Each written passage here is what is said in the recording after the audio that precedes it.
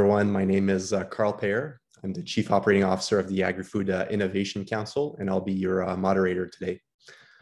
Welcome to the third panel of our virtual summit on agri-food research and innovation, looking ahead to 2025. Or welcome back if you had uh, also joined us uh, during panel one and two. I would like to start by uh, thanking Osler, Hoskin, and Harcourt LLP, Farm Credit Canada, AgWest Bio, and Smith Petrie Carr and Scott Insurance Brokers for partnering with us for this event. Thank you. Today's panel focuses on uh, presentations from Canada's agri-science clusters. And before we begin with our presentations, I just have a few uh, technical notes uh, to share. Uh, as you'll notice, uh, the chat bar will not be active for the attendees. That being said, you're welcome to ask your questions using the Q&A button. If you see a question that's been asked by another attendee that you like, you may uh, upvote it in order to uh, move it up in the queue.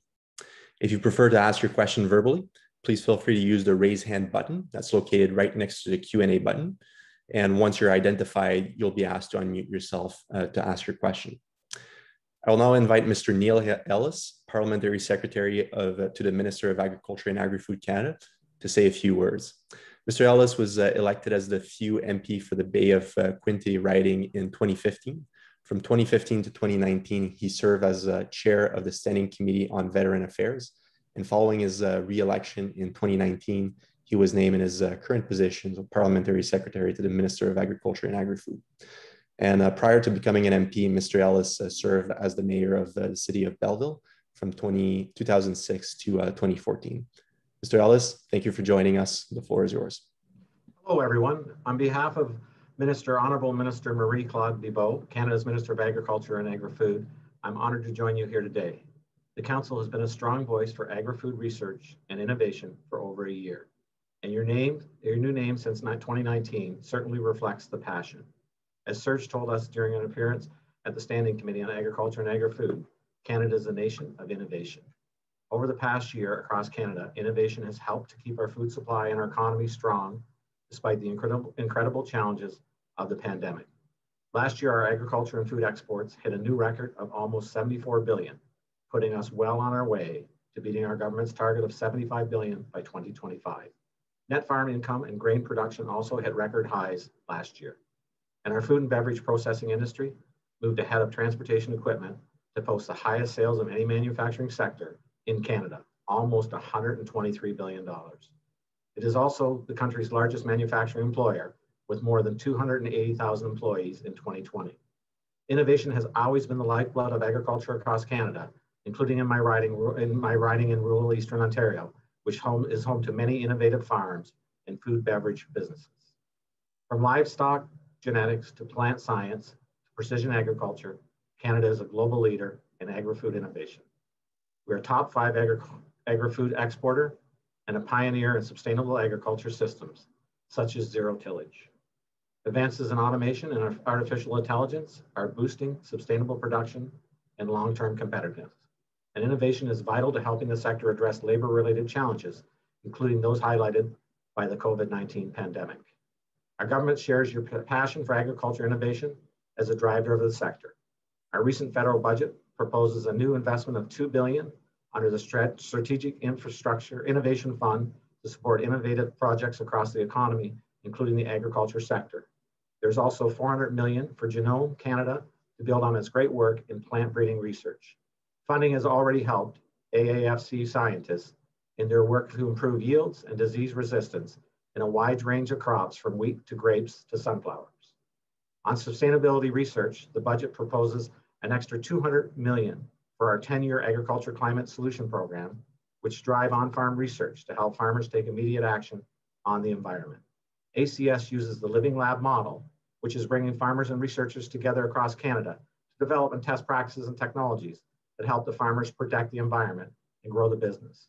On Monday, Minister Bibeau launched the Ontario Living Lab Initiative to take place in the Lake Erie Basin in Southern Ontario. Backed by a federal investment of just over 4.2 million, farmers and researchers will work together to strengthen soil health, improve water quality, and lessen the impacts of farming on lakes and other water resources. We've also added 165 million to our Agriculture Clean Technologies program, which supports research in clean agriculture technologies that have a real impact on carbon emissions. Technologies such as biodigesters, which are used on a growing number of livestock farms, across the country.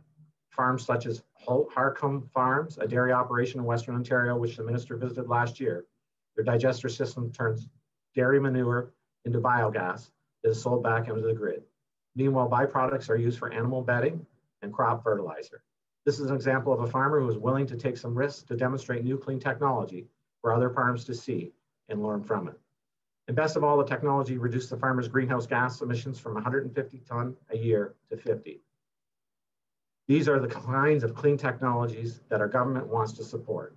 As the minister is fond of saying, ecology and economy can go together. Budget 2021 also pro proposes an extra 60 million for the super cluster initiative, which will help the super clusters continue their great work. Over 153 million investment in the Protein Industries Canada.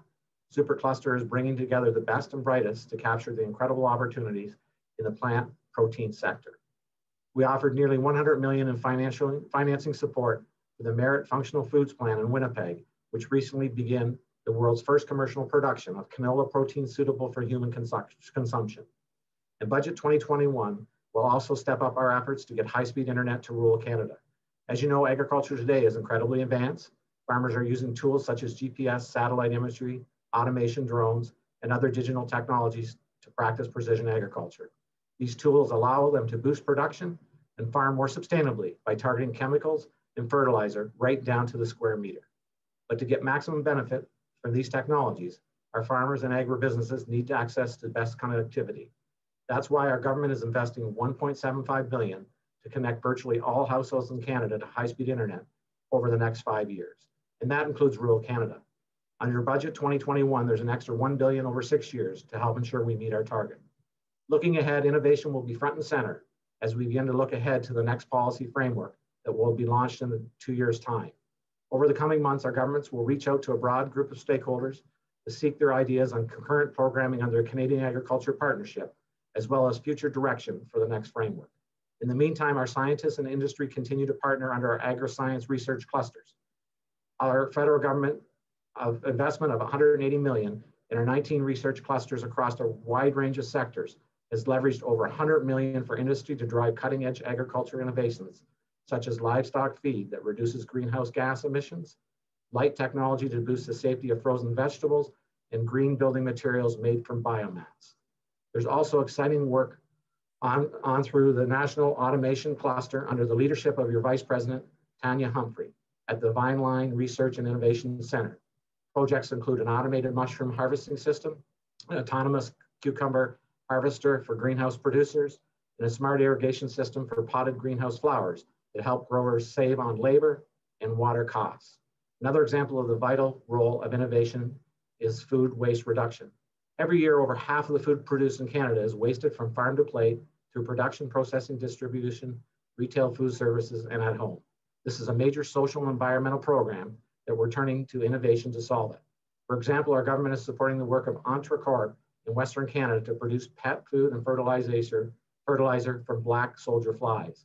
The feedstock is surplus fruits, vegetables, and other from local farmers, grocery stores, and food processors. To foster this kind of innovation, last year we launched a $20 million food waste reduction challenge, offering cash prizes to innovators with solutions to prevent or divert food waste at any point of the food supply chain from farm to plate. The response was amazing. We received well over 300 proposals from across Canada and around the world. Just last week, we announced the 24 finalists who will move on to test their solutions over the coming year, and a new round starts up in a year's time. Like you, our government understands that access to capital and entrepreneurial mentorship are key to getting ideas to the marketplace. With respect to private investment, Canada is actually one of the top performers for ag tech venture capital investment in the world. In fact, according to the US based venture capital fund, AgFunder, Canada attracted more than a half a billion dollars in venture capital funding towards innovative agriculture and food technologies in 2020. Our growing agriculture and food technology ecosystems already include 160 startups, multinational agri-input companies, major tech telecommunication providers, and leading venture investors. As well as Canada's growing agriculture, food, and technology ecosystems includes an increasing number of technology accelerators and venture investors. Winnipeg-based Farmers Edge started as an innovative startup in 20, 2005 and recently raised over 125 million through an initial public offering on the Toronto Stock Exchange. It's great to see they are partnering with Protein Industry Canada on building full grain traceability from field to market. As well, Creative Destruction Labs based in Ontario and Alberta launched a dedicated agricultural stream in 2020. And in January, SVG Ventures held an inaugural Thrive Canada Challenge in partnership with Farm Credit Canada. Over 100 companies pitched their ideas, with top nine presenting their innovations to investors from around the world. Interest from these new players and others in opening new avenues of investment with a diverse network of corporate partners and investors. TELUS has recognized agriculture food technologies as a significant growth opportunity and launched a business line that includes a suite of digital solutions for agri-food supply chains. Looking ahead, I'm optimistic about the future of the great sector. Beyond food technologies are opening up exciting new sales avenues, like turning hemp stalk and other farm waste into combustible coffee pods. Combustible. uh, green construction material, and even car parts and jet fuel. Farm exports and incomes are at record levels. Last year, Canadian agriculture was the nation's top economic performer. Across the Canada, including in the far north, incredible things are happening to capture the economic opportunities and food security that come with a vibrant and innovative food production system. Advanced technologies are helping Canada become a global leader in sustainability. And while we act, we want to act fast, we must act smart. Minister Bibeau and our government will continue to work with you to help the sector emerge from the pandemic stronger, more innovative, and more resilient than ever. Once again, thank you for your vision and all the best in your upcoming summit. Thank you. Thank you for your remarks, uh, Mr. Ellis, and for this uh, uh, comprehensive uh, overview. Thank you. I would like to uh, now uh, briefly introduce our guest speakers for today. Amy Argentino. Amy is the manager of projects and programs at the Canadian Horticultural Council, and she's also responsible for the management of the Canadian Horticultural uh, Research uh, Cluster. Next, we have uh, Julianne Curran. Julianne is uh, the Vice President of Market Innovation at uh, Pulse Canada, where uh, she leads the development and implementation of marketing strategies to diversify markets for the Canadian pea, lentil, bean, and chickpea industry. Julianne also serves as the chair of AIC's board of directors. Garth Patterson uh, Garth is the executive director at Western Grains uh, Research Foundation. And for more than 35 years, Garth has been involved in leadership roles in marketing, research, international development, and communications. Prior to joining the foundation in 2011, Garth was uh, executive director of the Saskatchewan uh, Growers. And last but not least, Carol Ann uh, Patterson. Carol Ann is uh, the principal at Pathfinders Research and Management Limited, she currently works with uh, Ag-West Bio, managing the diverse uh, field crops uh, cluster. Carol Ann has uh, extensive experience in the research, regulatory, production, and quality assurance uh, environments for agri-food uh, pro products. So thank you all for, for joining us. Each of our panelists will have up to 15 minutes to give their presentation. And after their presentation, we'll take questions from the audience.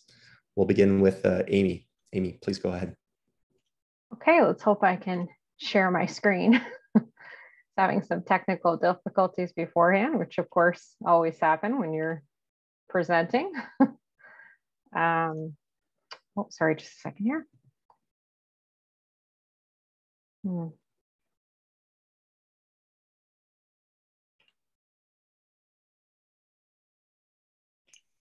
Amy, it's good. It's it's on the screen. Okay, just a moment though. I was hoping to be able to read my notes at the same time on screen. So I might have to adjust my setup a little bit just for myself. So uh, just a moment. Uh, okay, is that working? Okay, thanks everybody. Uh, as uh, Karl introduced me, I am Amy Argentino. I'm the manager of projects and programs at the Canadian Horticultural Council, and I've been managing the uh, agri-science cluster for horticulture since the beginning of the clusters program. So we have quite a quite a long history with this program, and it's been quite uh, beneficial over time for uh, for the horticulture sector. So I'll just give you a bit of an overview on the cluster uh, for horticulture. It's an investment of nearly $21 million with 13 million from AAFC, bringing together expertise from academia, industry, and government to address key challenges in the hort sector. And we've broken up our projects into five commodity groups for berry, vegetable, greenhouse, apple, and potato. So it's uh, we have 16 projects total and stretched out over, over the five commodity groups. We have 59 researchers and 32 institutions collaborating on these projects and over 70 industry contributors investing nearly $8 million. We're one of those groups that do not have a checkoff, so we have quite a few that are contributing to these projects. Uh, it's been quite a, quite a collaborative effort. Uh, these priorities that we have addressed through our cluster are pest management, uh, production and post-harvest practices, variety evaluation, and labor efficiencies. This is a list of some of our projects. I've got two slides for this. Um, we've got quite a diverse uh, group of projects um, led by both AFC and um, university researchers. Most of our potato projects are um, are led by a Canada researchers. So we have quite, quite a bit going on and quite a few collaborators across the country. Looking ahead to 2025, uh, we are going to be looking at a few activities uh, just in preparation for cluster four and just in general. Um, we'll be conducting an online survey of our cluster three participants to collect their comments and suggestions on the cluster experience. We've done this in the past with our previous clusters and received some really productive feedback. So we're hoping to do that again in the very short term. We will also be reviewing our innovation priorities for the cluster, of course, keeping with the five-year framework, working, looking to 2023 to 2028. We, again, like most clusters had done this in the past, we will be doing this again as our prep for that. We also are going to be taking a look at some future research funding opportunities with other Government of Canada departments. We know that a lot of the uh, priorities have some have focused towards climate change, and there are probably some other opportunities. We've seen really good success with the clusters, and we want to keep building on that with research. Uh, CHC as an organization is also looking to assess the impacts of the pandemic, what challenges were faced by growers, and as a result, are there things that we should be doing differently? Should we focus on specific research as a result of that? Which, how does the future look for horticulture? Just quickly, this is our timeline for planning for cluster four. We are starting with a review of our innovation and strategy documents.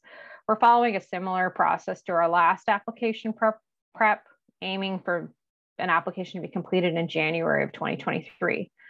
Of course, if AAFC changes the timeline, which I think we all have our fingers crossed for, that we would like to see the, the program roll out a little bit sooner, then we would adapt to that. But uh, hopefully, it, no matter what, it, it leads to starting projects on April 1st of 2023. I know Reynold mentioned that on Wednesday, that seeing that that that hard start date would be really great. So hopefully we will fingers crossed that that is that may be a reality, although it's been a bit of a challenge in the past. So looking to key priorities, uh, as I mentioned, we haven't yet completed our priority setting exercise, but I see a few areas that we could be addressing. And of course, focusing on grower needs and benefits. I think our top area would be around labor efficiencies. The labor gap in horticulture is becoming a real crisis. It's expected to increase to 46,500 jobs by 2025. And it's the largest labor gap in ag the agricultural sector. The seasonal and labor intensive nature of many growing operations means that horticulture relies heavily on international workers than do other segments of agricultural production. It's 43% of hort workers coming from outside of Canada compared to 17% for the rest of agriculture. And 61% of horticulture farmers hire foreign workers compared to 35% of the rest of agriculture. And related to that, of course, COVID really presented challenges around this with travel restrictions, social distancing, PPE costs. There's been quite a quite a few things as a result, um, and just the pandemic itself, and and you know people being sick has become a real a real challenge for for horticulture growers. So one thing I think that we could be doing to address some of that is around automation. I know Tanya mentioned this in her presentation on Wednesday, talking about the work that Vineland has been doing. And horticulture does need innovation in this area. And I think that we will see an increase in this priority for research in the future. Uh, another area that I think we'll be focusing on a bit is sustainability. Canada has been fortunate that the worst case scenarios for our food supply weren't realized during the pandemic, but a renewed focus on the food supply chain is an opportunity to better understand our role um, that the food system plays in healthy economy and healthy healthy population. And the Canadian fruit and vegetable sector has taken the lead on promoting environmental sustainability by adopting some sustainable practices. Um, some an example of this would be some of the transitions and work towards looking at possibly having um, better recyclable and compostable ag plastics, farm plastics, and fruit and vegetable packaging materials. So I think that we're going to see maybe some research and innovation in this area as well. Climate change is also part of this. We know that horticulture can be a solutions provider and it's a big area, but I think there's you know a number of things that we can that we can work on to address this. Uh, the third one, of course, is not a new priority by any means, but pest management tools. Uh, growers have been focused on better control practices for pests for quite a number of years crop protection tools such as pesticides, biopesticides, beneficial organisms, they're all essential to fresh produce industry and to encourage the overall health of crops and keeping in mind this, of course, the safety of Canadians and the overall food security. So this is definitely an area that we'll continue to focus on as it continues to be a pretty, pretty high priority for growers. So looking forward, how can we collaborate? we're looking to explore some partnerships across the country and across commodities. For example, we know that labor efficiency solutions have potential to help many different areas within horticulture. We all have those challenges, growers, whether you're apples or zucchinis or potatoes, anything in between, everyone has, you know, it's very labor intensive to grow food in Canada for fruits and vegetables. So we know that this is something that we can kind of look at partnerships uh, across the country and across commodity. We're also kind of looking at what areas along the supply chain we could be collaborating with. We've worked a lot with growers and processors on some of our projects, specifically with on potatoes, but we know that there are others that we could be partnering with, whether it's input providers, it's um, you know, farm equipment, packers, retailers. We are kind of looking along the chain to to see how we can collaborate better on some things. Uh, we are also open to suggestions and ideas for future cluster activities. So if anyone participating on these on these seminars, uh, webinars have seen something that we could maybe focus on together, we would be more than willing to uh, to explore some opportunities where we have been sort of focused in certain areas, but I do see the need to expand and to kind of broaden horizons as to what innovation could be for horticulture. So that's, I'm keeping it very short and sweet today. Um, I'd like to thank you for the opportunity to present. And for any more information on our cluster, please visit our website or just feel free to contact me at any time. Thanks. Thanks a lot, Amy. Definitely your uh, your last point about collaborating uh, across uh, country, across uh, commodities, and along supply chains as a way to, to broaden your horizon. I, I think this is uh, definitely a key point to, to keep in mind across uh, uh, across the sector as a whole. So thank you for your uh, presentation. Thanks. I will um, I will now ask uh, Julianne to please uh, go ahead. Thank you.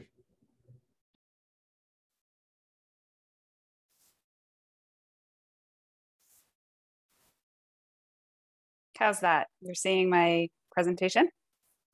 Yes, thank you. Great. Okay. So as as Karl mentioned, I'm Julianne Curran. I'm the VP of Market Innovation at Pulse Canada and also uh, currently serving as the chair of AIC.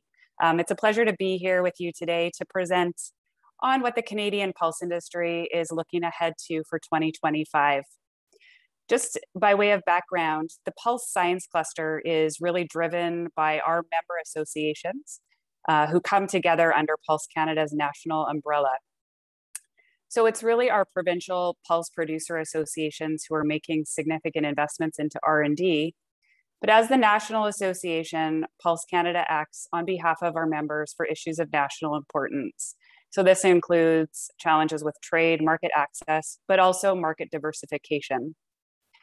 With the majority of Canadian pulses being exported to international markets and a small number of large markets, there's uncertainty about the long-term stability um, of those markets. And for that reason, diversification has become extremely important for our sector. With that in mind, our industry has set a target for market diversification, our 25 by 2025 target, which translates into looking to see 25% of Canadian pulses going into non traditional markets by 2025, which is roughly 2 million tons of pulses. So, this target was set uh, by the Pulse Canada board in 2018. And our strategy for market diversification uh, to meet these targets was developed after the current Pulse Science Cluster was already up and running. Um, so I'm going to talk more about this strategy because it really relates to our vision to 2025. But just want to stress that um, this strategy for diversification is a collaboration between Pulse Canada and our member associations. And we really want to more closely align the next Pulse Science Cluster with this 25 by 2025 strategy. So we have developed crop specific volume targets based on production levels here in Canada and also the most relevant processing streams and regions, um, categories with the greatest volume potential for, for usage of these crops. And a major focus of the strategy is on marketing activities, but research is also very critical to underpin and address the challenges that we need to overcome in achieving these volume targets. With respect to the 25 by 2025 strategy uh, for diversification, these are the areas of research we feel are really important um, to build demand and support that diversified growth for our sector. So the first steam, stream is research that addresses broad industry challenges, whether those are technical, regulatory, or marketing challenges. The second stream is the need to build data on quality and performance of Canadian pulses, as well as uh, just pulse ingredients as a category. Um, and thirdly, to demonstrate alignment of pulses with global nutrition, health, and sustainability goals. What I'll do for the remainder of my talk is just to highlight some examples of projects under each of these research streams um, to show how innovation and collaboration are key to addressing the priorities. I'm going to start with the first stream of addressing industry challenges.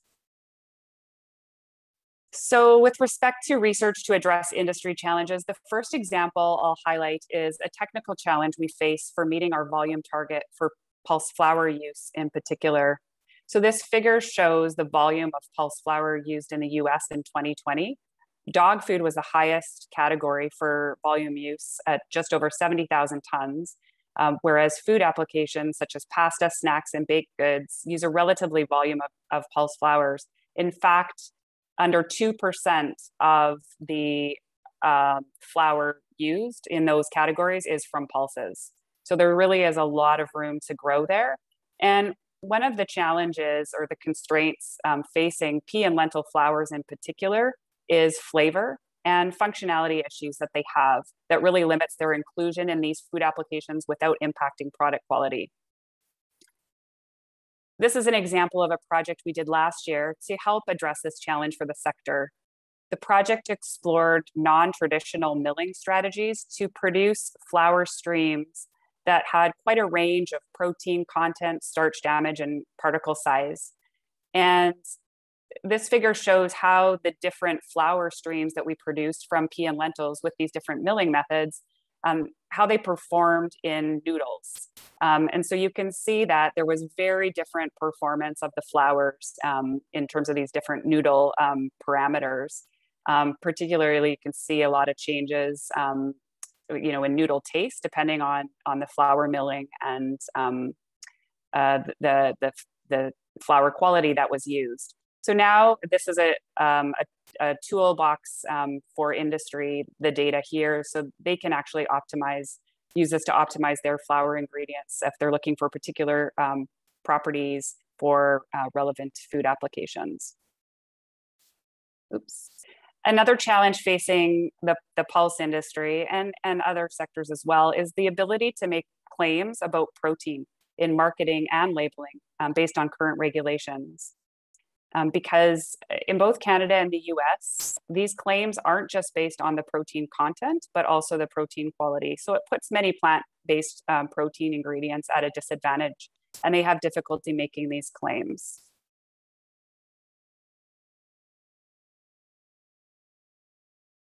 So this is an example here where we collaborated with industry um, to conduct some research that would help to address this regulatory issue. So we partnered with Loblaws, the Hedderly Foundation, and the universities of Toronto and Manitoba on a project that would encourage regulatory modernization for protein claims. What the project did was assess the risk to Canadians of consuming more plant based protein and the impact of this on their um, quality of diet. We've also initiated a similar project in the US in collaboration with General Mills. And I don't want to get into the data, but just to show um, these are, are what the results look like, where protein intakes and diet quality were determined at four different levels of plant protein consumption. So this study has uh, just recently been published if you wanted to look at it further. Another challenge facing our industry is the need for more high value usage for all the pea starch that's generated through protein fractionation. And this is a common challenge um, among the industry stakeholders. So, a recent study that we commissioned from Euromonitor showed that right now the majority of pea starch is going into ethanol and animal feed, whereas only a small percent of uh, pea starch is used in higher value industrial uses and um, food and sport uh, nutrition products. For this particular challenge of increasing use of pulse starch, innovation and collaboration with the research community is really needed. So most of the starch is used in categories where it doesn't have a unique functionality um, and can easily be substituted, as you can see in that sort of bottom um, square, the small square. So to get more usage in categories like food, bioplastics, paper, and packaging, we need to really explore more modifications to starch, um, as well as innovation for specialized uses like sweeteners and pharmaceuticals. With Canada having such a high production of peas, I think this is an opportunity for us to really take a, a leadership role here, um, similar to what's been seen in the US for corn historically. I've talked about some examples of addressing industry challenges. Now I'm just going to move into the second stream on the need to build data on the quality and performance of Canadian pulses and their ingredient derivatives. One of the challenges facing the industry on this front is as it becomes more and more competitive um, for for pulses in the in the plant protein uh, space, um, it's really challenging for end users to navigate um, how different ingredients perform because there are so many different products in the marketplace that range in terms of um, quality and functionality. So to address this um, and help companies to better position themselves and distinguish how their ingredients perform relative to the competition, we're working right now on getting a project going in collaboration with the NRC and the University of Saskatchewan. This project will also bring in industry collaborators by using um, their commercial samples to build public data um, on the functionality and performance of pulse ingredients relative to each other and to soy protein um, which is really needed by end users. So companies would remain anonymous, but the data can be used to help companies distinguish where their projects fit or where their products fit within the range. As part of our strategy, we want to make sure Canadian pulses have preferred quality for processing. And for peas, this is for fractionation in particular. So we're collaborating with our member associations right now using samples from their regional variety trials to test the quality attributes of peas that are well relevant for processing. So this is just some uh, data here showing the variability in iron content. And I, I'm just wanting to show this particular attribute because it's relevant actually in meat analogs. Um, when there's a slight drop in iron content in the ingredients, it can require um, the food product to actually be fortified with iron. So it's important to, to get these iron levels at the right um, amount to avoid that. Another differentiator for Canadian Pulses is our sustainability story. So we want to ensure we have robust sustainability data that accounts for all aspects of production, regional variability, and a range of environmental metrics. This allows us to provide the best data possible to those who are sourcing from Canada. Here's some of the recent data we developed for pea, and we have the same data for lentil and are currently building this for beans and faba beans. So the last area I'll cover is the need for research that demonstrates the alignment of pulses with global health, nutrition, and sustainability goals. Results from a 2020 study by the International Food Information Council showed that after taste and price, health and sustainability are significant drivers for consumers. So if we're going to build demand and increase consumption of pulses and all agri-food commodities for that matter, we really need to demonstrate the alignment um, with these broader goals that um, are goals of consumers and society at large. To further illustrate this point, um, these are just results from that protein intake study that I uh, referenced earlier that we did with Loblaws and the other partners. And you can see that across um, the different uh, quartiles of pulse protein consumption, um, going from uh, quartile one, where protein consumption from plants was only up to 25%, all the way across to uh, quartile four, where consumers were consuming 75% or more of their protein from plant based sources. Consumption of, of pulses is actually quite low. And the majority of plant protein, um, especially in those high uh, quartiles of plant protein intake, is actually coming from breads, rolls, crackers, and grains.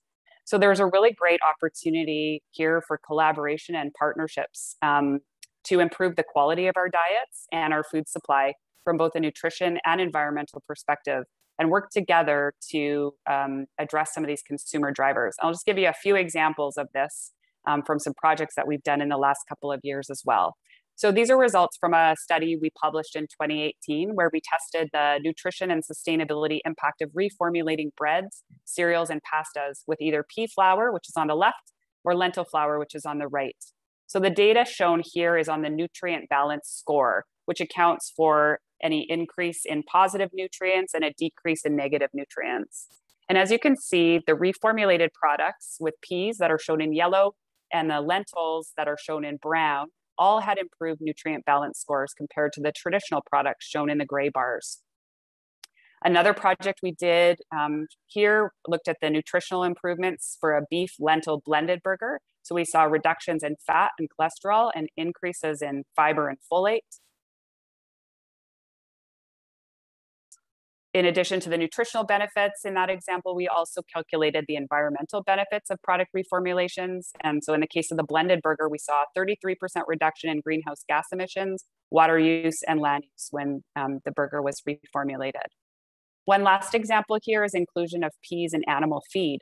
So this is a project we just recently completed, and by including peas in swine feed or layer hen feed, we saw reductions in the greenhouse gas emissions.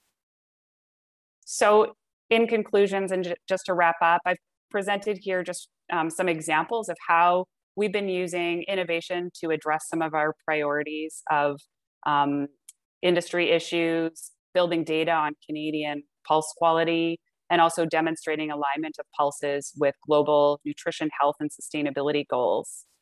We feel that in order to achieve our 25 by 2025 targets, these are the key priorities and also see a lot of opportunity for collaboration um, and more collaboration between producers and processors and manufacturers in particular, because um, this is all the kind of work that has broad benefit for the category in this sector.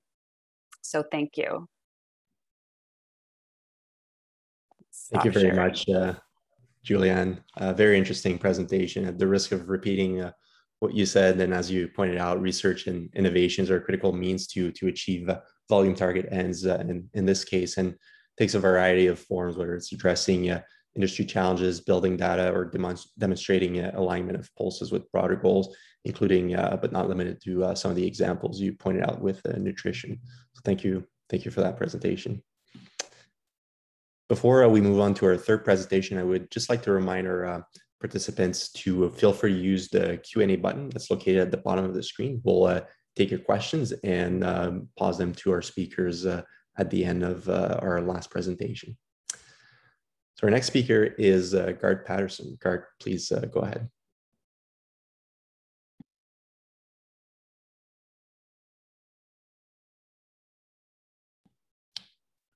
Garth, uh, you're, oh, there we go.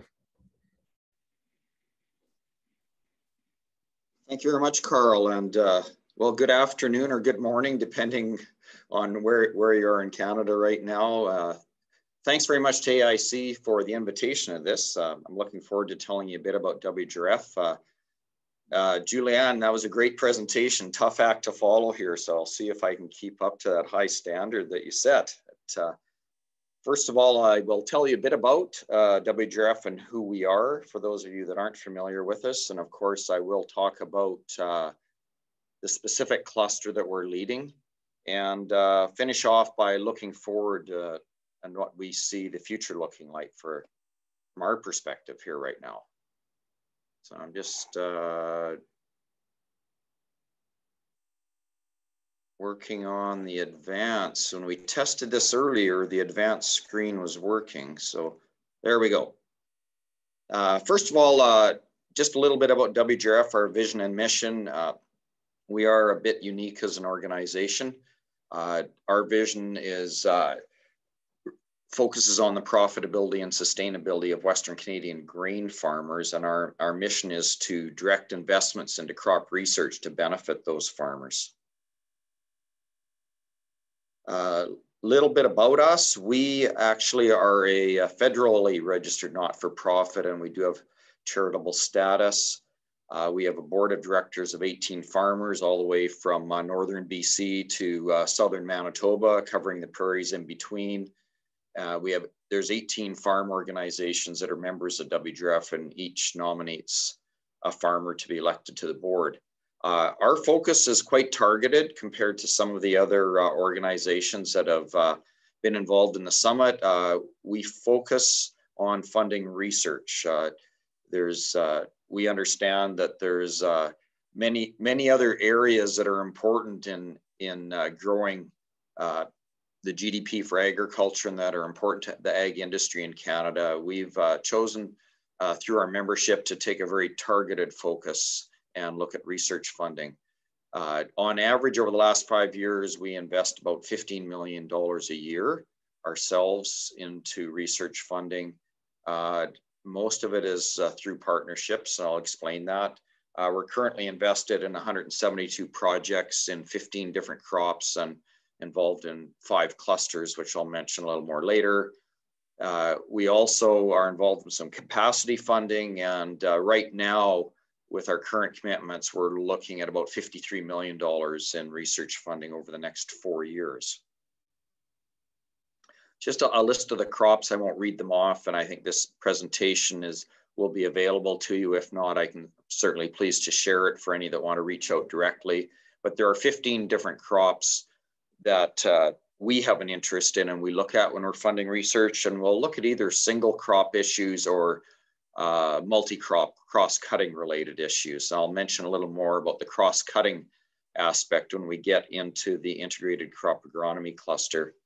Uh, the two areas that we look at generally uh, for research funding uh, are in the areas of variety development and production. And there's some examples of the types of research that uh, we will consider when we look at proposals that are listed here. It's not meant to be all inclusive, but just to give you an idea, the types of research that we have an interest in. Uh, the process that we use is we participate in established science-based competitive processes that uh, offer opportunities for us to advance research in our areas of, of interest. And uh, I, there's many, many of you I, I, see from the participant list that are partners of ours. Uh, we, we work with uh, Western, with the pro, provincially based processes in Western Canada. We've, uh, of course, are involved with the Canadian Ag Partnership through clusters and projects. We've been involved in Genome Canada, or we currently are, as, as well as uh, NSERC. And we're always uh, looking for other opportunities to partner in processes that we have an interest in. Uh, we have taken some uh, additional initiatives uh, outside of those competitive processes to advance capacity in Western Canada. Uh, phase one and two of our accelerating capacity initiative. Uh, phase one is on the screen now where we actually have uh, made long-term funding commitments to research chairs in uh, the three primary Western Canadian universities that are involved in agriculture research. Uh, those are listed here on the screen. Uh, the second phase, which was a competitive uh, open call, uh, we launched in 2019 and last year uh, the board approved $24 million worth of funding in this program to expand research capacity. We've started making announcements over the last year through COVID, throughout COVID, and we'll continue to do that as some of the larger projects are, uh, are come into place.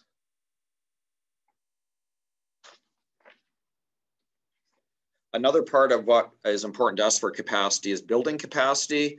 We provide $300,000 a year in graduate student scholarships to each of the again, three Western Canadian agriculture focused universities in uh, Alberta, Saskatchewan, and Manitoba. And uh, we've been involved in that for a number of years and recently significantly increased this to $100,000 per year per university. And we've, uh, we're starting to see those scientists now uh, finish their research and get involved uh, you know, in the industry, which is uh, a real pleasure for us to see that coming to fruition. We are involved in knowledge transfer. Uh, we don't run a large uh, internal program ourselves. We look for ways to partner with programs. This is just one example our KTT, and we were the uh, founding sponsor of the Canadian Agronomist, which is a uh, an initiative to actually uh, translate and boil down research, target both uh, professionals agrologists that are working with farmers and farmers themselves on specific issues. Uh, now, mo moving a little more specifically to the test today with respect to the current clusters, uh, uh, I guess myself, I've been involved, uh, this will be the third round of clusters I've, I've been involved with, and uh, I've certainly seen the evolution over the years. Currently at WGRF, we're involved in five different clusters, and I think throughout the summit, all of those clusters uh, you will be making presentations here. So it's not my intent to discuss all of those, but the one specifically we've been asked to speak about today is the integrated crop agronomy cluster that we're leading. Um, this is a new cluster uh, un under, under CAP. So we're very pleased to have uh, be part of 11 industry partners uh, along with AAFC to develop this cluster. Uh, it's a $9 million cluster over five years, and it really uh, was intended to look at cross-cutting issues and to complement some of the more uh, crop-specific uh, clusters that uh, we are also involved in. Uh, there are the, the three key themes that we're involved in here in this cluster are sustainable cropping systems, uh, resiliency to climate change, and uh, technology transfer. I'll have a little more to say about those. Um, these are the partners. I won't uh, I won't read all this out, but their logos are on the screen here, and we're uh, really pleased to be uh, working with all of these partners. And it's certainly uh, if you know looking forward, if our interests and priorities align with uh, the new new programs that we hope to see out of Agriculture and Agri-Food Canada, we'll certainly be looking at uh, another integrated crop agronomy cluster and uh, how it will fit.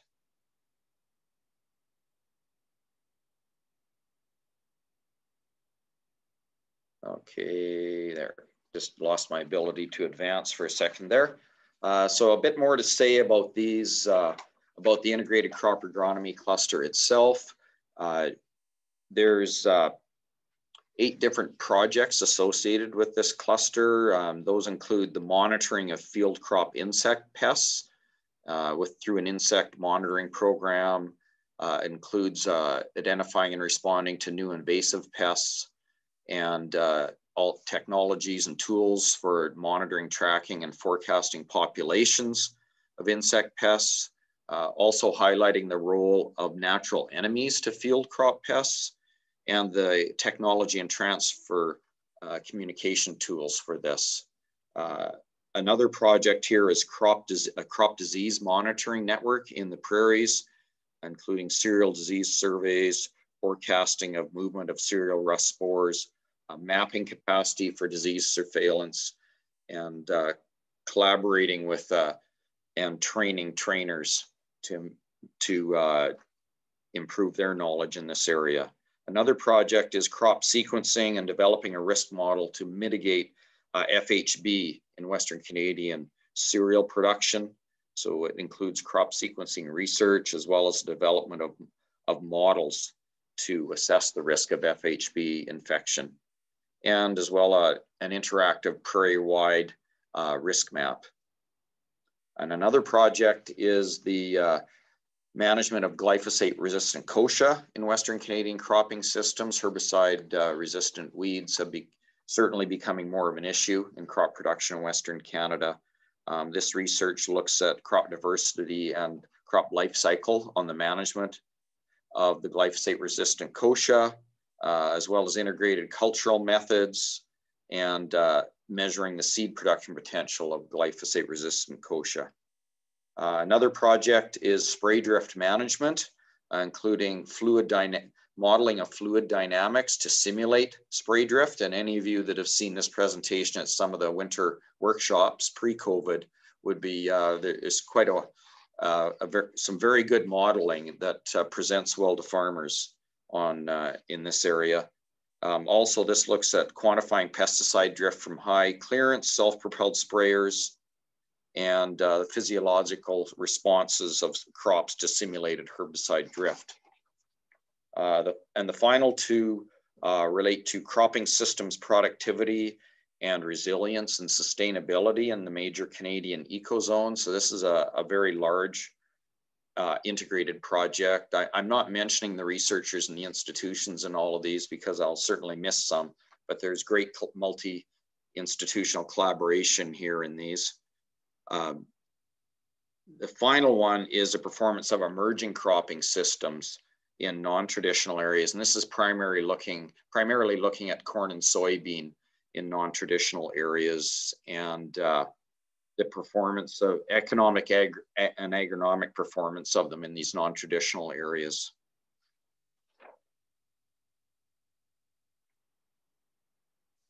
We, we do have a KTT component. Um, this is just an example under uh, the Prairie Pest Monitoring Network uh, that's been established uh, a number of years ago. It's a very uh, successful and collaborative uh, initiative multi-institutional, multi, uh, uh, a, a, number of different players across the prairies. And the, this, uh, this website continues to advance and show up-to-date information and make it available to anyone who wants to go to it.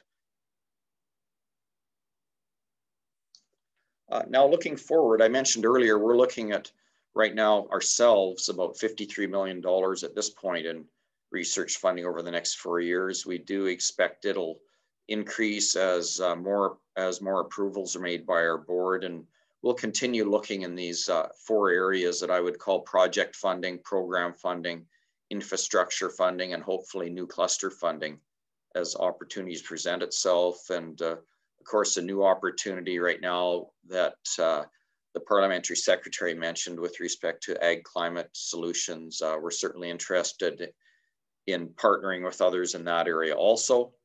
Uh, what we've done to uh, start mapping our future and certainly inform us with respect to the integrated crop agronomy cluster and other other funding investments we'll make is uh, we've started out, uh, I guess step one of this process was to engage uh, some consultants that uh, their one of their COVID projects was to survey a number of stakeholders in Western Canada through this past winter, uh, scientists, industry, uh, as well as farmers and other stakeholders. There was 187 of them. Um, it's called the Amathon report. It is on our website. Uh, we, I'd encourage you to take a look at it. Uh, we're going to be doing uh, additional consultations through the summer and fall. Uh, when those switch from virtual to in-person, I guess uh, will remain to be seen, but we certainly hope to finish up with uh, in-person discussions in the fall. But uh, we're really looking uh, for some uh, additional information and guidance to assist the WGRF board in mapping the future for us and looking at what's most important to farmers.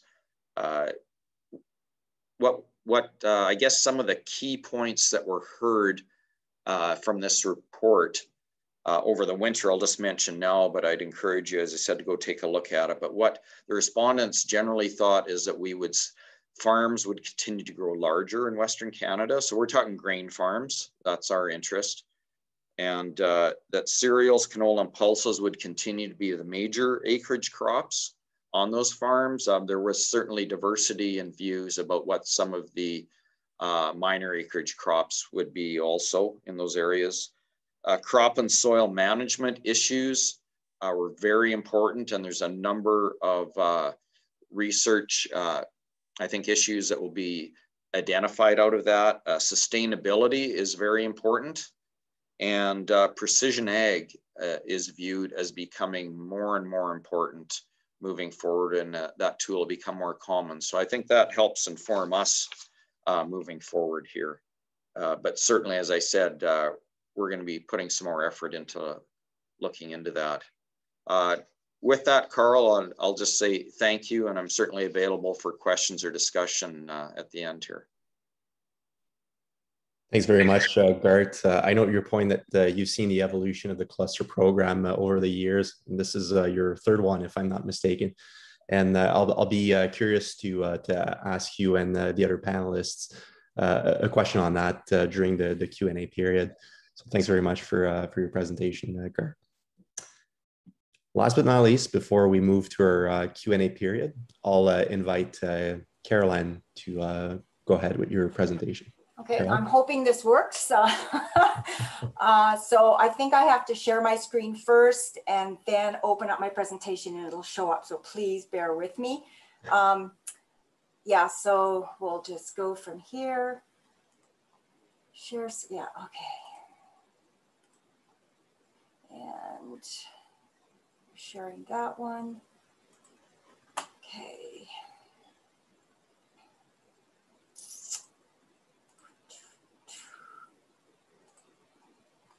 Okay, is it sharing okay. at all? Not quite, no.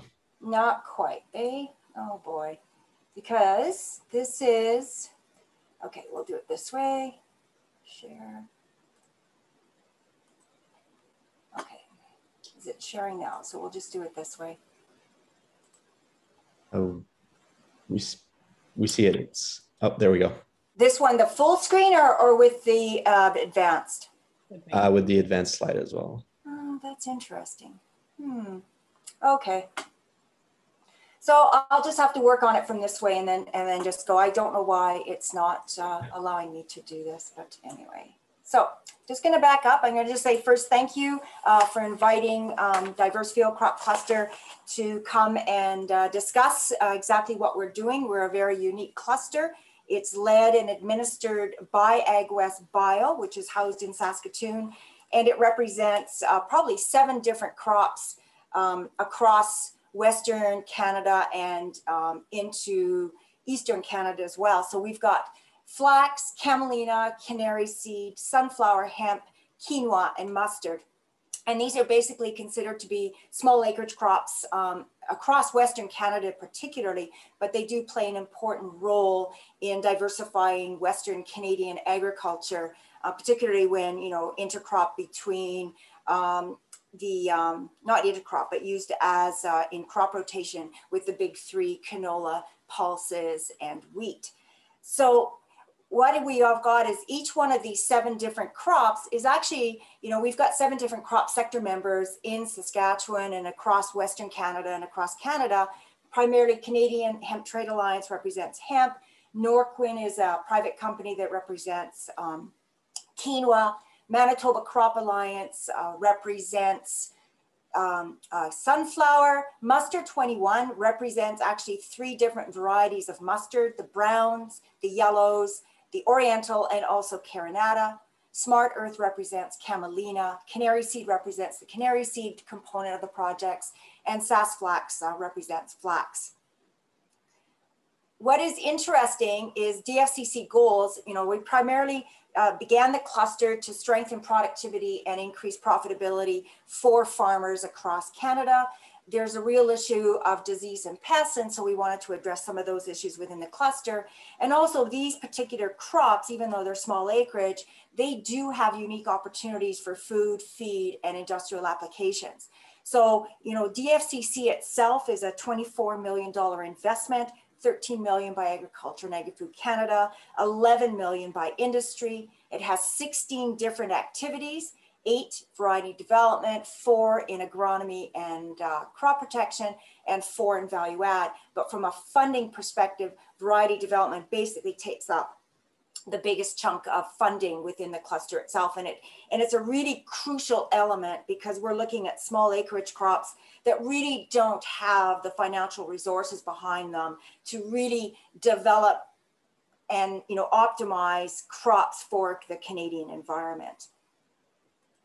I'm just going to talk a little bit about our three themes. Variety development is, is like I said, is, is the most important one with amongst the group. And it basically is comprised of both upstream and downstream um, uh, activities. You know, we've got laboratory-based um, activities only looking at development of molecular tools and breeding platforms, right down to um, the field trials that individual groups are doing and, and showing the importance of developing those agronomic practices and getting yield data that can be passed back down to the farmer. What I really want to highlight though is some of the successes that we've seen already within within the DFCC. And I, and I just want to, you know, emphasize that this success that we're seeing here in the third year of DFC, in the third year of DFCC, when you look at mustard, is actually the culmination already of 12 years of research. Um, mustard started in growing one, uh, in growing forward one and growing forward two. And, you know, the culmination of that is we've got the first hybrid brown, um, AEC Brown being released in, in 2019.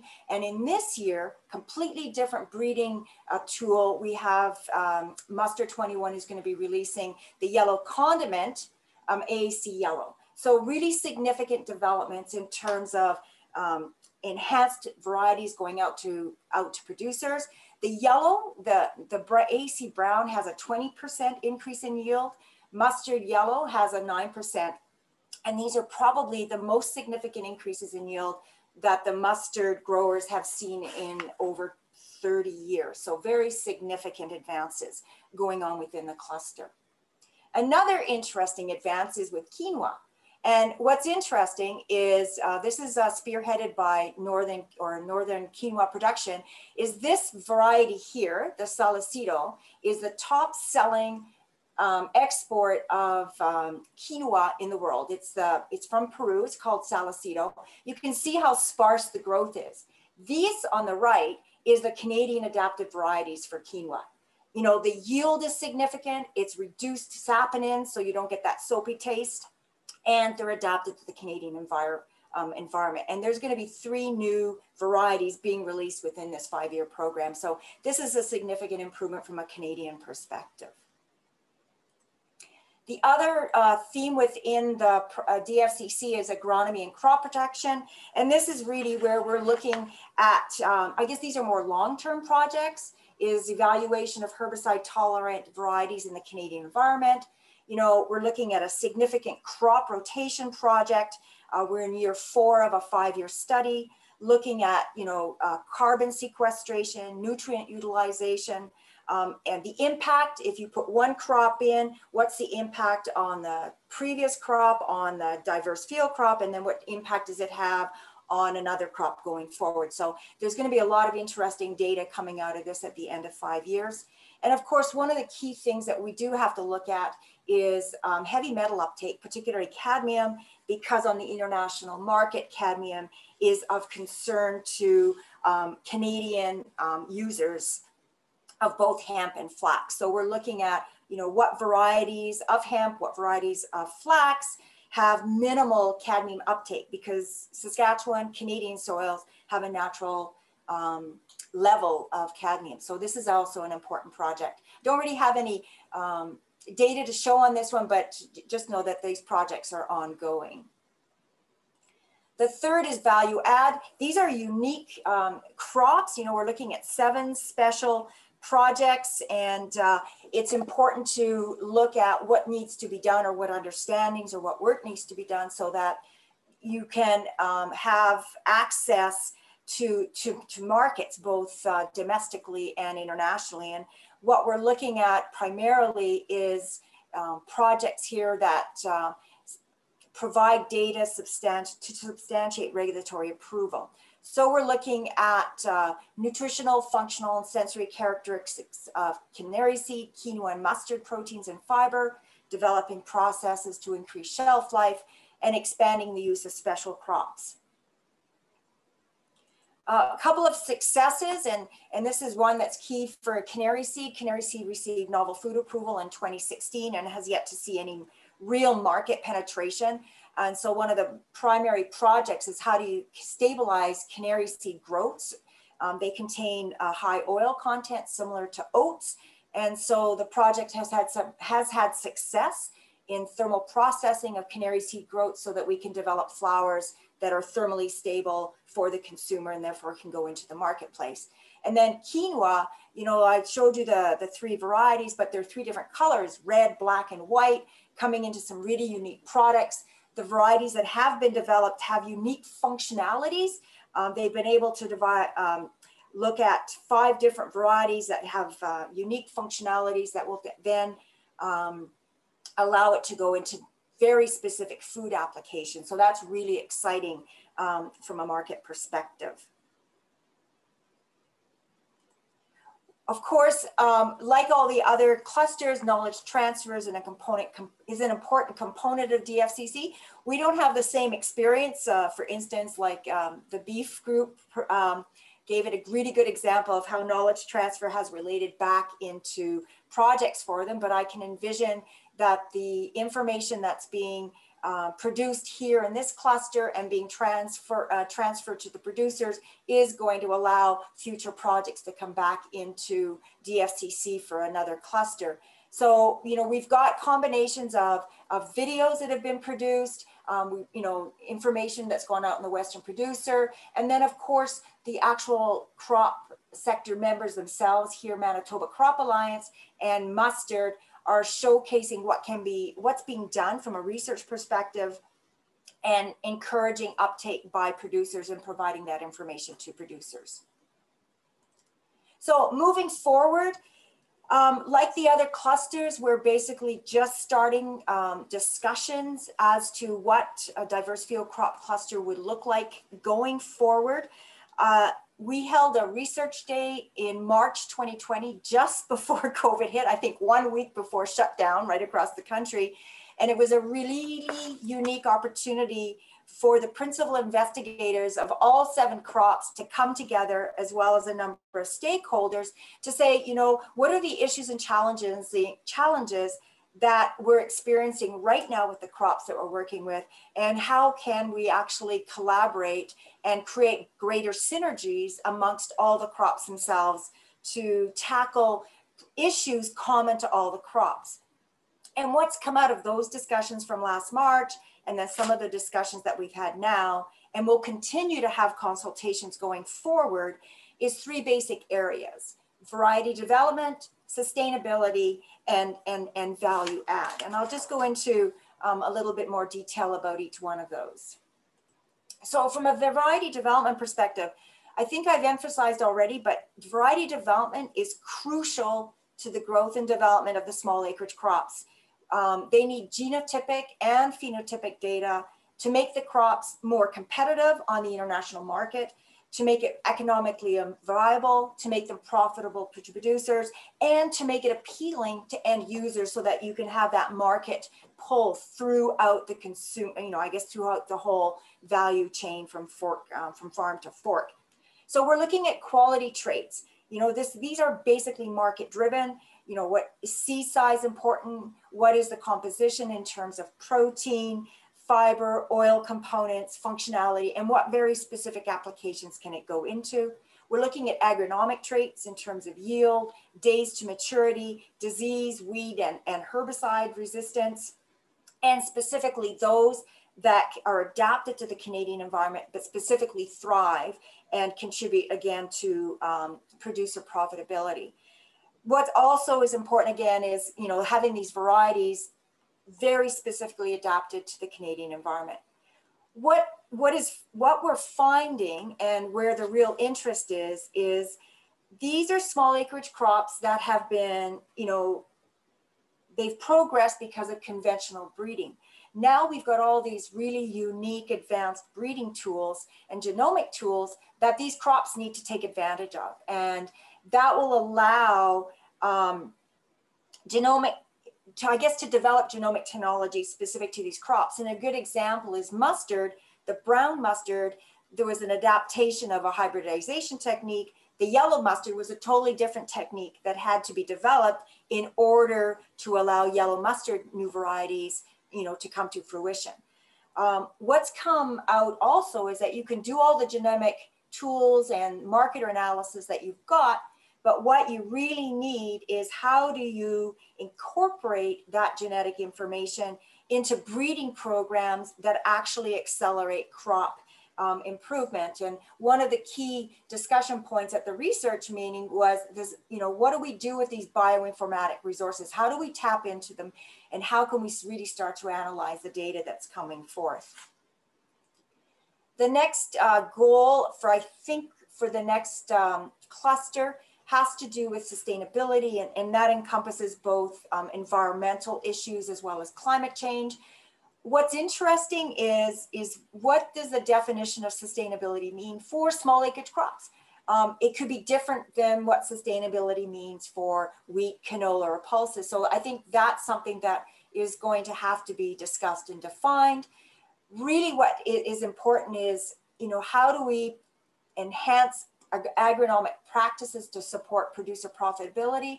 And this is coming forth in our, in our hemp project, where you know different environmental practices, different genomics and management practices all impact um, varieties and profitability for consumers. So how do we mitigate that and, and what information can be provided to producers to enhance their profitability? Uh, first, another one, again, as I indicated, was you know, how do small acreage crops mitigate the impact on environment and climate change? And, you know, we're looking at crop rotations, intercropping, carbon crops, um, carbon sequestration, reduced use of crop protection products, nutrient and water utilization, and of course, soil health. So all those things that were discussed at Ag Canada's uh, uh, climate uh, workshops in the last couple of weeks are, are things that I think that the small acreage crops can play a significant role in. And I think one of the things that we have to understand is that with sustainability and with changing climate and with climate change, is you have to recognize well what new challenges are going to emerge. And we're already finding that challenges are happening just by introducing new crops into the crop mix. And this is evident. Uh, quinoa had an interesting experience where for the first time ever in, in growing quinoa in Canada, they were infested with the sugar beet root aphid and you know it, it affects sugar beet but somehow it's being attracted to quinoa. So there's a whole other challenge that needs to be investigated. Of course value add plays a significant role um, in creating value to producers and to the whole agri-food industry in canada. And i think there has to be a recognition that these special crops provide unique sources of protein, starch, oil, fiber, and bioactives um, that are not yet fully explored and offer lots of potential um, into the expansion into the food, feed, fiber, industrial market, um, natural health product market. And a lot of the issues that are being uh, looked at right now is, you know, how do you make health claims? How does the information that we can work out into our projects feed into the regulatory world. And I think Julia, Julianne addressed some of the challenges with pulses. Well, these special crops are way down in, in getting the um, evidence to support any type of, um, of uh, nutrient uh, function claim or you know health claim. Flax, I think, is a, is a really good example of the work that was done in, in their health claim. What can we do with hemp? What can we do with some of the other crops?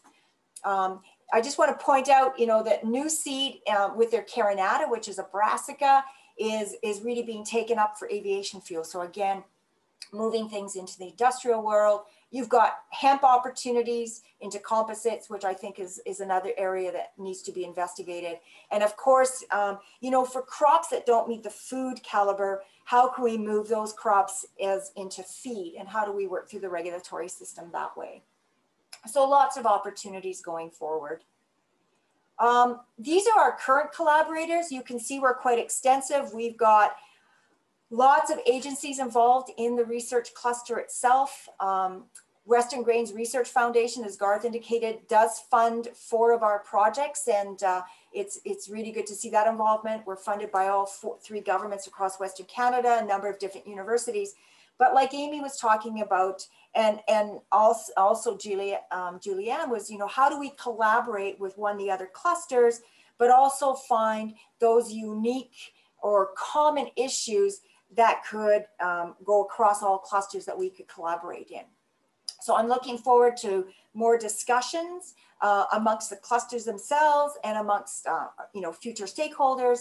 And I would invite any other interested parties to contact Diverse Field Crop Cluster and Ag West to see how we could uh, collaborate and move forward with another cluster going forward. So thank you very much uh, for this opportunity to talk and I'd welcome any questions. Thank you very much for uh, that presentation, Carol Ann. It's definitely giving us a lot to, to think about. I will also add that uh, it's always great to hear uh, su success stories like the ones you've uh, highlighted for uh, uh, mustard and, you know, as it relates to a variety development. So thank you very much for, for those. I'd like to once again thank all of our panelists for their presentations. I will now open the Q&A session for attendees. So once again, attendees are invited to ask their questions using the Q&A button that's found at the bottom of their screen. If you would prefer to ask your question verbally, uh, feel free to use the raise hand uh, button. We'll be uh, monitoring the, the list of participants and asking you to uh, unmute uh, yourself uh, to ask your questions. So I'll start, maybe I'll start with one question um, that we've asked our, um, our panelists on uh, Wednesday. So on Wednesday, we, we had the opportunity of uh, hearing from uh, Mr. Tom Rosser, who's the uh, ADM for uh, Market and Industry Services at the AAFC. And one of the things he mentioned was that, uh, as you know, the Canadian Agricultural Partnership is coming up in 2023, and AAFC was looking at how it uh, how it could evolve uh, over time and uh, looking at starting that the stakeholder engagement process to uh, gather feedback from across uh, the sector. Um, so, so the question that was asked for our panelists on Wednesday, and I think would be worth asking you uh, as well, is as the government looks to renew its the partnership after 2023, what do you think are some of the consideration that the government should keep in mind, and whether it's things to change, things to, to keep the same any any thoughts on that? We'll start with uh, Amy and then go to uh, Julianne next. I would say one thing they really need to keep in mind is around priorities, how their priorities line up with uh, industry priorities. I know that's something that that has been a challenge for many in the past. Their their sort of priority setting timeline is not exactly the same as ours.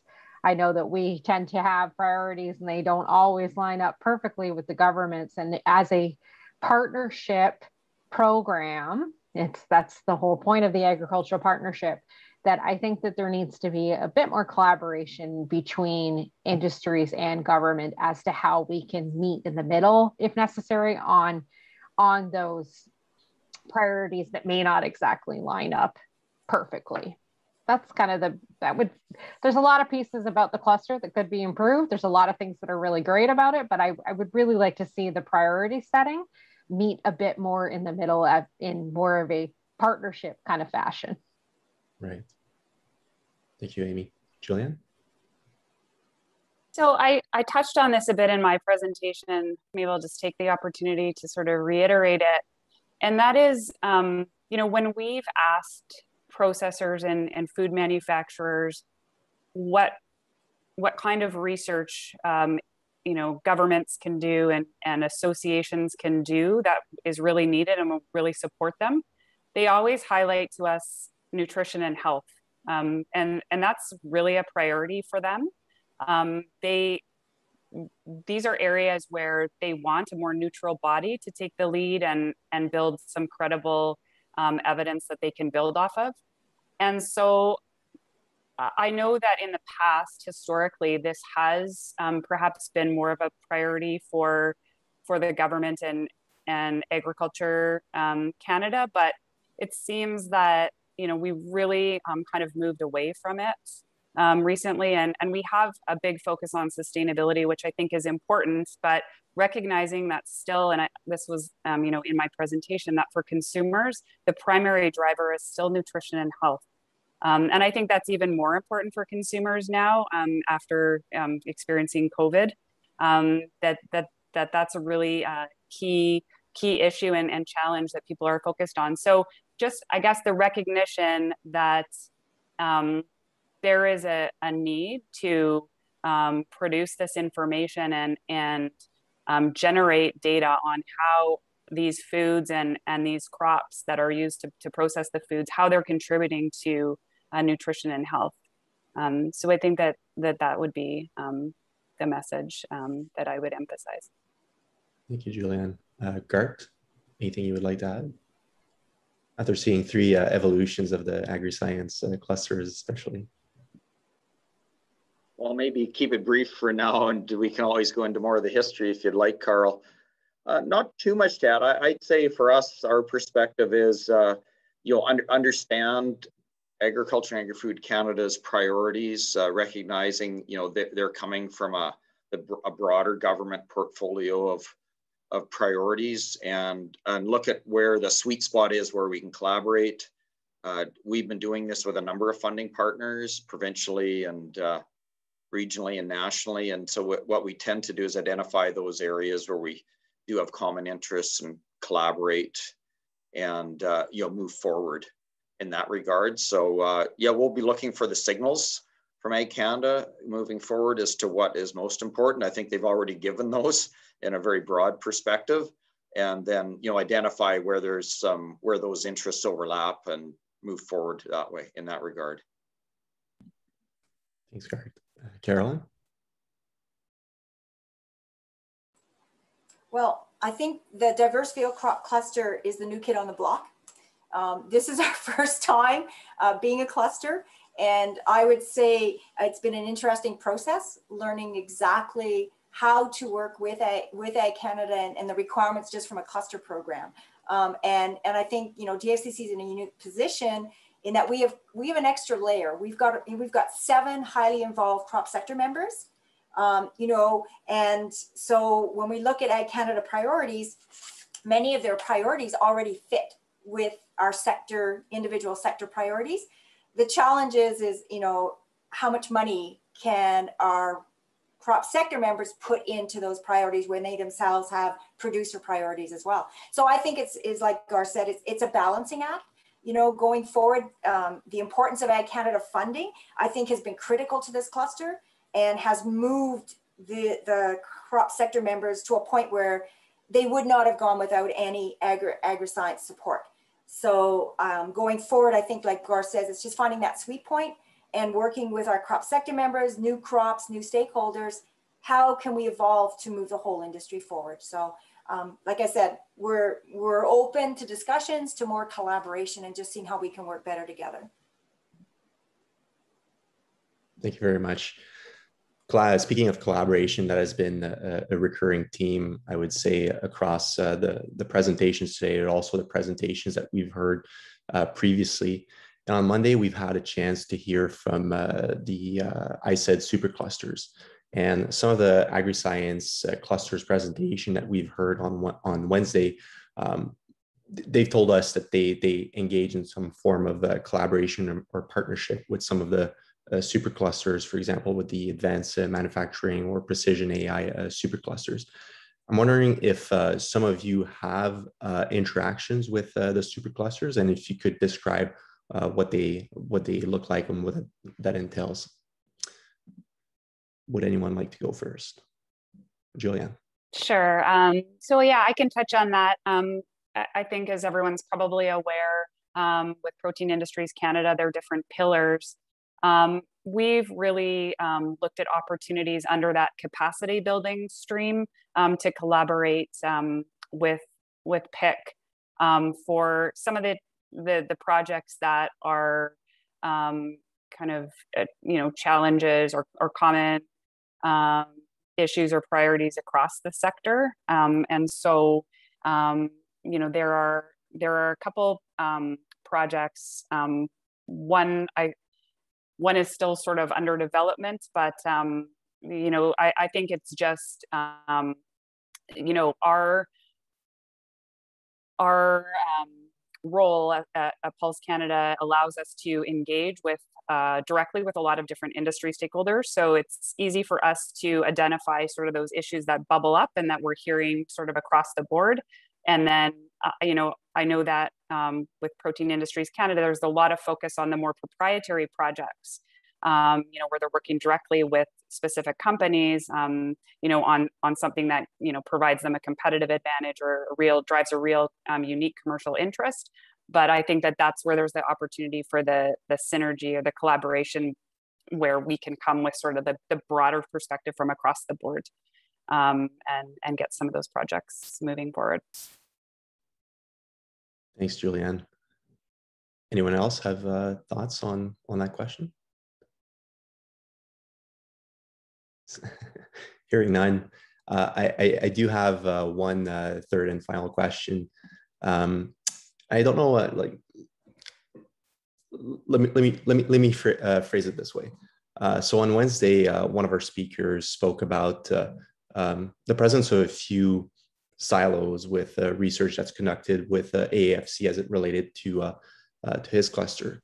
In a sense, saying that the research that they do is good, but maybe not always focused on what certain producers would see as as being a priority. I'm wondering if you could comment on your interactions with uh, researchers at AFC and not just the, the negative, but also including the, the, positive. And I would also like to ask you uh, about uh, public-private uh, partnership and collaboration. Are there challenges there or aspects that uh, could be improved? And if so, uh, what would those be? I can comment on the uh, working with Ag Canada researchers. Most of our cluster projects are led by Ag Canada researchers, and we've seen a increase in collaboration and discussion with Ag Canada because of that. So the clusters has definitely um, brought us together on some issues. I know that we've seen a lot of just more discussion since the since the cluster started, uh, especially on breeding specifically with in the potato sector, they've had a lot more discussion and a lot more collaboration than ever before. So I think that's helped without with not being in that silo sort of such scenario. There has been a lot more discussion. So it has been, I think it has been quite beneficial for us in that way. Thanks, Amy. I'll be positive on that front. Thanks. I'll just um, I'll make a comment in that, you know, from the DFCC perspective, Ag Canada has probably the expertise to work with the small, the small acreage crops. Um, you know, when I look at mustard breeding, they they've got the only mustard breeder in Canada. Um, you know, they've got uh, Saskatoon's got, you know, Carinata um, breeding capabilities, the Camelina breeding capabilities that aren't aren't available anywhere else. So from a DFCC perspective, it's critical that we continue to gauge, engage with, with Ag Canada and, and um, the, the question is the level, you know, the upstream versus, you know, the field trialing that needs to get done to finish off varieties. So um, I, Ag Canada has a lot of expertise and, and, I, and I envision continued collaborations with them going forward. Thanks, Carol Ann. Uh, Garth, any, uh, any thoughts? And then we'll, uh, we'll turn to Julianne uh, next. Well, perhaps I'll, I'll back up a bit, but I've, I've seen over my, uh, I guess, 25 to 30 years of involvement in research funding, it's uh, the, collab the collaboration, the knowledge, and the relationships that have been developed. And this just isn't related to Ag Canada or clusters, but in general, I think it's just continually improved. When, when I look back, you know, and, and initially there, I, would say there's a lot less silos now uh, from a funder perspective. We know each other, we talk to each other. Uh, we're, we co-fund in many cases. And if we don't, there's usually a good reason we don't. Perhaps it's fully funded. in another way. We share information. Uh, in our in our case, uh, we we like to know if we're if we're partnering on a certain crop that we have an interest in, and uh, we want to know what the producer commissions or the industry associations think of that crop, and make sure that we're involved in issues that are most important to them. We're not duplicating, we're complementing. And, uh, you know, so anytime I hear talk, well, researchers aren't collaborating, I think really you need to step back and look at the institutions and the funding because it's the funders that ultimately, I think, have to accept responsibility. And, uh, and researchers, it's like any other industry. There's some that have great working relationships and work together, and there's history and there, there's great work that's done. And uh, you know others have different perspectives or philosophies and so it's uh, there's people in research just like there are everybody else and I, th I think specifically though to the clusters moving from cluster one to two to three uh, it's really uh, I remember the first the first cluster we didn't know each other different you know getting together in Ottawa. You started to get to know each other. You started to learn about people and practices and and uh, you know, by the time it came to the second one, you could, you knew each other better and it was, you could again, learn about best, best practices and continue to grow and Ag Canada's grown with us and we've got a better understanding what, of what they need because uh, they need uh, us to be successful in order for them to continue to get uh, program funding grants from treasury boards. We be, need to be able to work with them. So I, I've seen a lot of progress on a lot of different fronts when it comes to collaboration. So it, it leaves me, I'm very optimistic about where we're going in the future. So sorry, a bit of a speech long answer, but that's sort of what I've seen over the decades. That's great. Thank you, Garth. Uh, Julianne? Yeah, I think I would just echo a lot of, of what Garth just said, but um, we certainly have a lot of capacity here in Canada um, within um, AAFC scientists as well as the academic institutions. And, and a lot of that has been built due to, to investments that the government has made um, into research and through all these um, clusters, um, all, the, all the cluster programs over the years. Um, and, and I do think that, you know, having, you know, breaking down silos and, and sort of creating more collaboration and and uh, you know addressing industry priorities I, I think that that's on us. That's on the industry associations um, like ourselves to do a better job of of helping the scientific community to understand um, what's happening in the industry and what the industry needs are because they are a huge network that um, of stakeholders to support um, the sector and so I think uh, you know it, it really is our job and and I think we could be doing a better job of that. Great. Thank you very much, Julianne. I'll use my prerogative as a moderator to uh, end, the, end the presentation or the, the panel a little bit early today. Uh, so Amy, Julianne, Garth, and uh, Carol Ann, thank you so much again for your presentation and for your uh, insight today. Truly appreciated. And to our audience, uh, thank you for joining us today. We look forward to uh, seeing you again during our next or next and final panel on Monday next week to continue and conclude the conversation on, uh, on research and innovation in uh, agri-food. Our final panel will uh, feature uh, more of agri-science uh, clusters and also a moderated discussion between uh, Serge Buy, the CEO of AIC, and Mr. Brad Wall, the former Premier of Saskatchewan, to wrap up the 2021 summit. Thank you very much and have a great day. Bye. Thank you. Bye. Thank you. Bye.